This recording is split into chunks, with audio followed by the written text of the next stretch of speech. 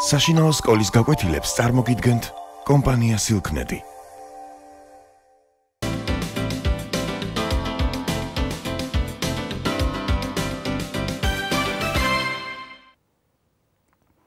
მოგესალმებით.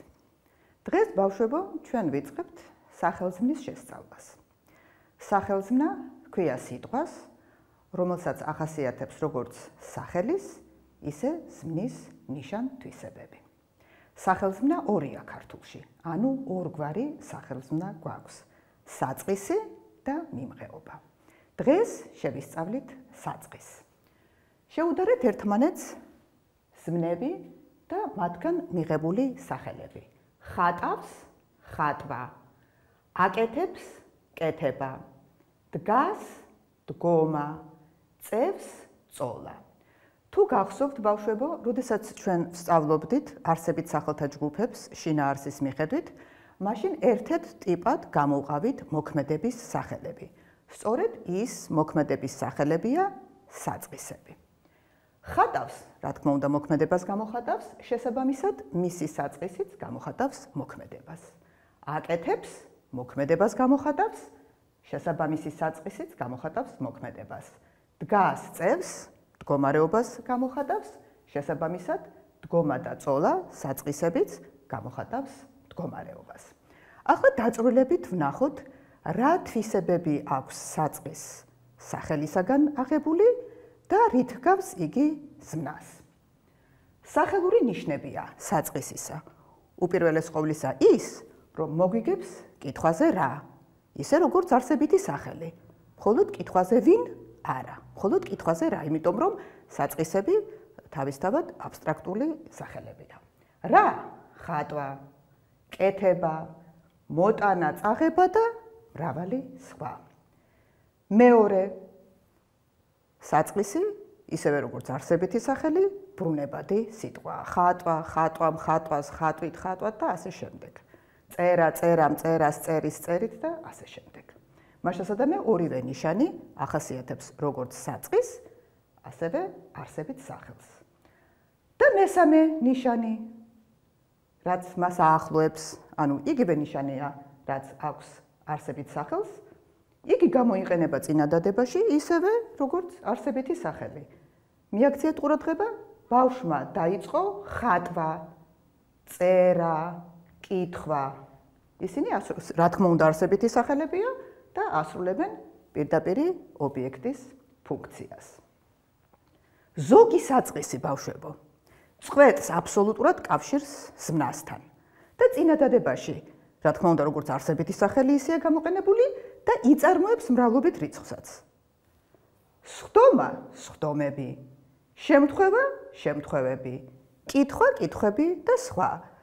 ხოლო სხვა შემთხვევაში თუ საწყის გაწყვეტილი არ აქვს კავშირი ზმნასთან დგომა, წოლა, კითხვა, კითხვას აქვს მრავლობითი მაინც კითხვები. სხვა შემთხვევაში წოლები და დგომები არ გვექნება. ახლა ვნახოთ ზმნური ნიშნები. თქვენ იცით რომ ზმნას დაერთვის ზმნის წინი. ამ შემთხვევაშიც ნახეთ გაკეთება, დაწერა, აშენება, წაღება, ყველა შემთხვევაში ფორმა წარმოქმნილია ზმნისწინით. მაშასადამე საწყის ერთვის ზმნისწინები. მეორე ნიშანი ზმნური საწყისისათვის დამახასიათებელი. იგი განარჩევს ასპექტურ ფორმებს. ბუნებრივია, რა კი ზმნისწინს ირთავს, ასპექტიც გარჩეულია. კეთება უსრული ასპექტის ფორმაა, ხოლო გაკეთება სრულისა. ხატვა უსრულია, ხოლო დახატვა სრული შესაბამისად ზმნისწინიანი ფორმები იქნება იქნება სრული ასპექტისა, ისევე როგორც შესაბამისი ზმნები. ახლა ნახეთ გაკეთება, გაკეთებინება. თქვენ გახსოვთ, ჩვენ ვისწავლეთ კონტაქტი შუალობითი და უშუალო. აკეთებს უშუალო კონტაქტის ფორმაა და შესაბამისი საწყისიც გაკეთება იქნება უშუალო კონტაქტისა. ხოლო აკეთებინებს, ანუ სუბიექტი პირდაპირ ობიექტზე მოქმედებს არა უშუალოდ, არამედ ირიბი ობიექტის საშუალებით. აკეთებინებს შესაბამისი ასევე შუალობითი კონტაქტის საწყისი იქნება გაკეთებინება. წაშლა წაშლებინება. შლის აშლებინებს აი ამ ზმნებისა. ახლა ჩვენ კარგად უნდა ვისწავლოთ რა არის საწყისის მაწარმოებლები. მისი ნიშნები.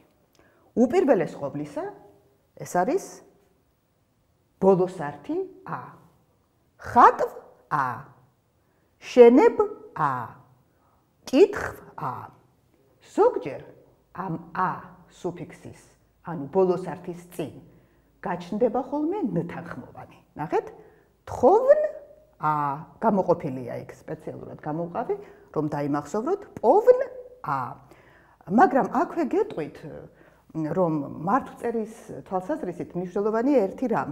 იპოვის იპოვა უპოვია და არა იპოვნის იპოვნა უპოვნია. ზმნაში ν არ გვექნება. ეს ν აი ამ საწყისის ნიშანია. სხვა შემთხვევაში ა სუფიქსის წინ ა ბოლოს არტის წინ შეიძლება გაჩნდეს ოლ ო და ლ ორ ფორმანდი ნახეთ. თ ოლ ა ბრც ოლ ა. ზოგჯერ ომ ჩნდება ა ბოლოს არტის წინ.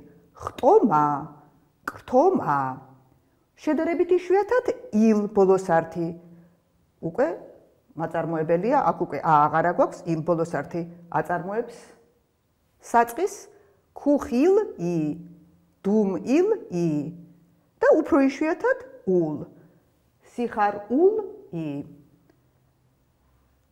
ახლა ერთი რამ მინდა იცოდეთ. გაიხსენეთ ფუძე მონაცვლე ზმნები რიცხვის მიხედვით. ჯდომა ზის ერთი სხედან ბევრნი. შესაბამისი საწყისებით, ამ ზმნათა შესაბამისი საწყისებით იქნებიან ფუძე მონაცვლენი. ნახეთ? ჯდომა ერთისა, სხდომა ბევრისა. გადაგდება ერთისა, გადაყრა ბევრისა. ჩამოვარდნა ერთისა, ჩამოცენა ბევრისა და სხვა. ახლა ძალიან მოკლედ შევაჯამოთ დღევანდელი მასალა. სახელზმნა ორგვარია ქართულში: საწყისი და მიმღეობა. საწყისი წინადადებაში ისია გამოყენებული, როგორც არსებითი სახელი. არსებითი სახელის ნიშნებია საწყისისათვის დამახასიათებელი კითხვაზე რა გვიპასუხებს იბრუნვის და წინადადებაში ისეა გამოყენებული როგორც არსებითი სახელი. ხოლო ზმნური თვისებებიდან მნიშვნელოვანია დაირთავს გაზმნის წინს, განარჩევს ასპექტს და ზოგჯერ კონტაქტის ფორმებიც მოეპოვება.